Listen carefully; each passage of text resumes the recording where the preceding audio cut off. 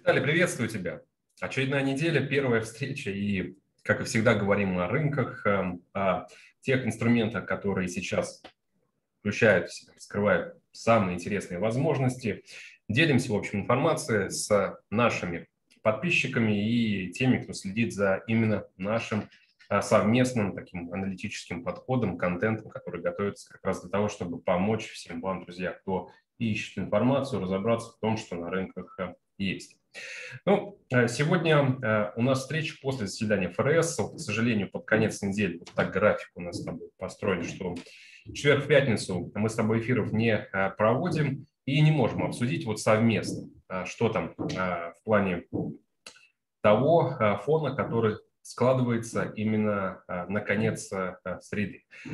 Э, так вот, друзья, на прошлой неделе ключевое событие было заседание ФРС, и я обещал в двух словах сказать э, о его итогах. Ну, я думаю, что если, можно перейти, если вы сейчас откроете график индекса доллара и посмотрите, собственно, на те же самые уровни, где мы были, и во время нашего прошлого эфира с Виталием, мы, собственно, и в понедельник, э, уровня, на котором, если закрыть глаза и просто вот, э, взять за основу диапазон, значения, которые мы видим сейчас, они, в принципе, для индекса доллара уже характерны довольно-таки давно.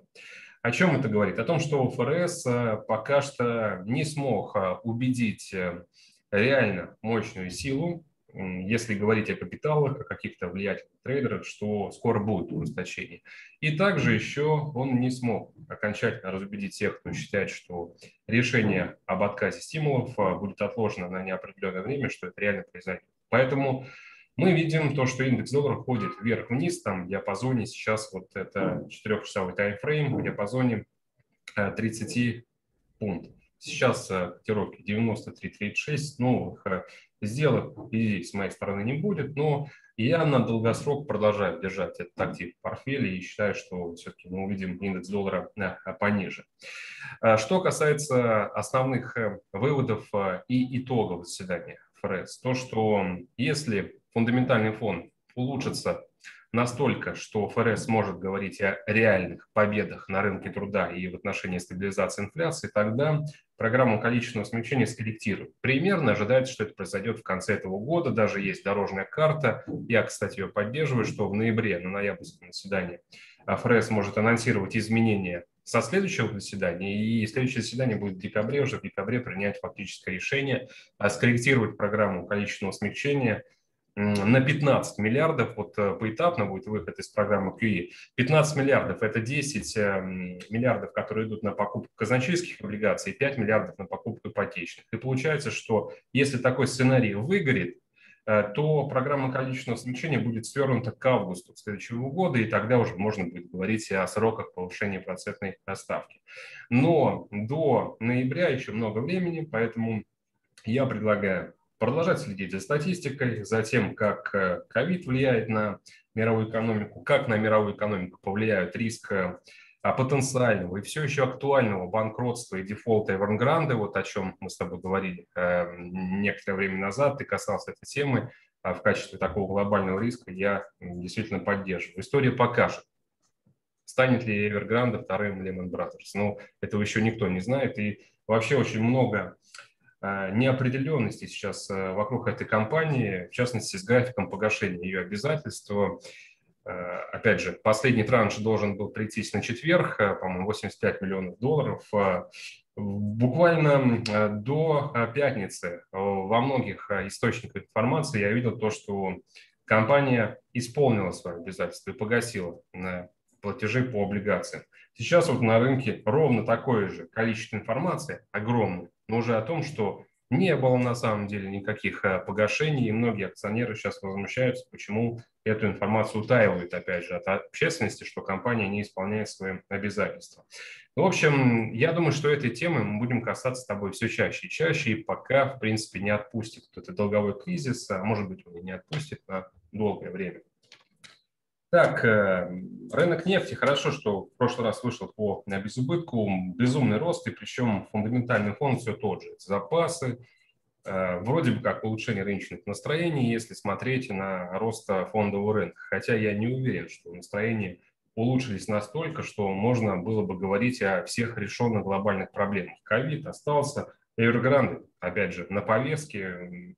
То есть не согласен я с теорией того, что бренд сейчас находится на перевалочном пункте, дальше будет 80-85 э, по бренду и гораздо выше. Но есть то, что есть. Рынок забрался очень высоко, и у меня пока нет идей, как и что с ним может произойти дальше, но может быть у тебя точка зрения в плане техники. Так, что касается рисковых активов, за которыми мы параллельно также следим, это европейская валюта, которая сейчас локально снижается, поддержка 1.17, очень хочется купить евро, доллар ну, как и раньше, с уровней пониже. Примерно 1.1650 буду ждать именно снижения до туда. По британской валюте сейчас котировка 1.3668, жду все-таки развития дальнейшей нисходящей динамики и сделка sell stop с уровня 1.3650 как раз на пробой вот этого уровня на часовках, который виден, с э, целями 1.35 и стоп-лоссом на уровне 1.37. Так, э, еще были рекомендации по золоту, кстати, тоже была сделка. Я рекомендовал покупать с отметки 1770 и стоп-лоссом на 1660. Вот здесь вот э, выдержали немножко, ну, не достигли стоп-лосса, вышли вверх и по безубытку закрылся. Я сегодня предлагаю снова э, сделку покупку золото э, после теста вот как раз 137 скользящий средний в расчете на дальнейшее восстановление. Это уровень 1763. Туда можно поместить э, buy stop с стоп-лоссом 1753 и э, take профитом на отметке 1795. Кстати, о важнейших событиях этой недели. Странно, что нон-фармы перенесли на неделю вперед. Я думаю, что 1 октября, 1 пятница месяца они должны быть, но Э, скорректировали, опять же, экономический календарь, надо посмотреть, почему. Хотя еще, когда я смотрел э, события этой недели э, в пятницу, нон-фармы еще были помещены на 1 октября, сейчас уже на 8 октября. Важное событие – это форум Европейского центрального банка в среду. И важное, ну почему? Потому что на нем будет выступать Паул. Конечно же, будет говорить о политике ФРС э, о процентных ставках и программы количественного смягчения. Может быть, как раз э, заранее то событие, которое недооценивается и станет тем самым мощным триггером, который раскачает индекс доллара и поможет все-таки трейдерам дальше определиться, что делать. Ну, посмотрим. В среду еще раз обсудим этот фон. Виталий, слово тебе.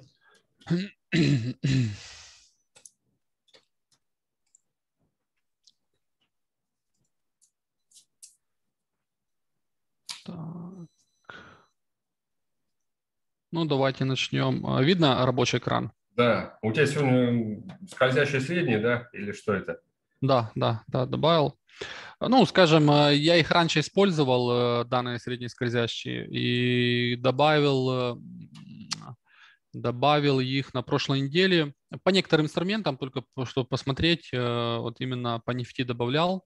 Угу. Напомню, мы на прошлой неделе говорили о каких-то шартах, я, в, я получил стоп-лосс э, по, э, по нефти, э, анализировал причины, почему инструмент ушел лонг, там было все понятно, больше даже было, скажем, э, признаков на то, что инструмент пойдет лонг, но, скажем, как-то уперся в шорт, хотя понимал это. Ну, первое, это э, трендовое, да, у нас вот этот тренд, который там за последние там полтора месяца идет роста, а, мы на прошлой неделе вот данный тренд ровно тестировали, скажем, вот ложно и закрывались э, ну, там, э, середина недели выше данного тренда, да, поэтому здесь было нелогично входить в шорт, я даже заходил был в, не помню, четверг, да, а, по данному инструменту. Здесь было нелогично заходить, э, как бы, как бы вот так. Э, плюс, вот если посмотреть на трендовые, мы,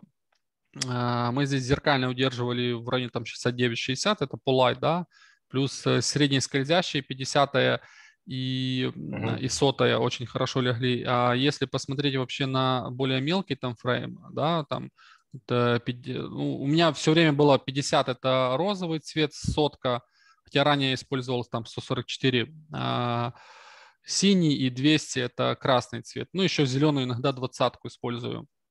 А, мы тоже ровно здесь ложились на трендовые, э, на средние скользящие, то есть еще показывал один момент, что нельзя шортить данный инструмент. И на четырех часовиках аналогично все показывало на рост. Как бы анализировал, э, скажем, добавил такие новые фильтры. А, пока по нефти у меня вне рынка, возможно, скажем, какая-то будет коррекция по данному инструменту, паттернов каких-то на шорт или на лонг нету, мы вот это накопление, выстрел был наверх, сейчас э, вот если какой-то импульс вниз нарисуется, то можно будет говорить дальше о шортах или вот, допустим, э, по бренд мы даже перебили, если не ошибаюсь, максимума, да. Мы по бренд обновили э, максимумы, которые были у нас э, поза, позапрошлом месяце, это 77,8. За этим уровнем стоит понаблюдать. Если будем данный уровень, скажем, ложно рисовать какой-то ложный пробой, то можно будет говорить о какой-то э, нисходящем движении на коррекцию по, по данному инструменту. А так пока вне рынка по данному активу. Э, дальше, что еще обсуждал? Э, кстати, добавил э, средние по S&P 500. В прошлый раз я говорил, что по S&P 500, вот здесь на минимумах, мы, кстати, вот это минимум сотку как раз тестировали, мы ранее пробили и двадцатку, и пятидесятку, и говорил, что очень-очень похожая формация по, по S&P 500 вот здесь на минимумах, как было в июле э, текущего года. Она, в принципе, и на других, э, и на других месяцах на минимумах, то есть август, то есть аналогично, там на часовиках очень красиво видно. Вот здесь импульс такой наверх, то есть и там просто одинаковые паттерны, что в июле, что в текущем месяце, сентябре, а, показывали на лонг, что возможно было выкупать данный актив. Э, плюс, вот, кстати, мы когда э, в прошлую среду общались утром, я после нашей битвы там э, на одном ресурсе а, читал информацию по поводу розничных трейдеров, которые влили максимум покупок там за последнее время, вот, ну, я думаю, большинство знает, что на всех просадках, которые там показывают э, S&P 500, там NASDAQ, вот именно по этим двум активам, ETF на S&P 500 и NASDAQ, были максимум влиты вот на этих минимумах. То есть розничные трейдеры э, выкупают все просадки, которые есть на рынке. Ну, кроме крупных игроков, они, скажем, таким не занимаются, они наоборот на текущий момент генерируют, э, скажем, кэш на своих счетах по максимуму, ну, скажем, потихоньку избавляются. То же самое эти розничные трейдеры делают э, по, по криптовалютам, там почему-то после каждых, каждой просадки криптовалюты улетают там достаточно сильно, ну, пока. А, поэтому такой момент, то есть достаточно много влили, поэтому вот за счет этого рынок хорошо подрос, то есть первое, это техническая картина была показывала о возможных покупках, о которых я говорил, как вариант, если вы настроены на покупки. И э, толпа разгоняет рынок, скажем, э, и такие суммы там, не помню, 800 миллионов или там полтора миллиарда где-то вот, на, вот покупают там через ETF, через опционы и так далее. Поэтому пока рост, посмотрим, что дальше будет. Э, возможно, коррекция. Так, у меня что-то сейчас моргает экран. Ладно, что-то что, -то, глючит или система. Э, давайте в двух словах. Э, пока текущих каких-то сделок у меня нету. Э, пройдусь по валютам. Сейчас экран не могу переключить, но в двух словах поддерживаю снижение роста по фунту снижение пары по, по фунт-доллару. Да, да, э, Но желательно, скажем, чтобы мы сегодня удержали пятничное э, снижение, которое у нас было. То есть это в районе, там, э, возможно, поставить лимитку. Ну, желательно уже лучше вторник, во вторник шортить, посмотреть, как закроется дневка. Или, как вариант, рискованно можно поставить sell limit 1.37, там 37, да, стоп-лоссом 1.3750, то есть за хай четверга, то есть поставить стоп-лосс. Снижение в район там 36, и вторая цель это при пробое там уровня поддержки 36, это 35.